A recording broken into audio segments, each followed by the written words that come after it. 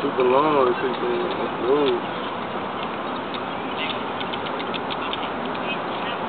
know what I'm saying? Niggas like Obama gonna get reelected. I mean, I would like to see him get re reelected, but really, I just care the fuck less. Look, turn the camera around.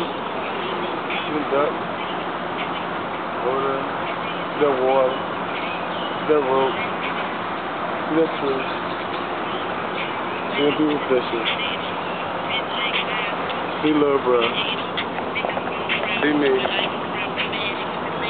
I don't see Obama. So, saying? This shit really don't goddamn matter to me, man. Only thing that matters to me is the shit I see right now, man. Nigga ain't out here, like, you feel me? I mean, I'm like, shit. He doing him, I'm doing me. Uh, he get elected, I mean, I'm not stressing all of that bullshit, like, watching this shit all day, niggas arguing. Fuck all that, man. You be broke watching that shit. It's too much of that shit to watch. I mean, you be consumed with it, like, was just doing that shit. Man, them, all this shit is a fantasy, man. All this shit about money, bro. That's it.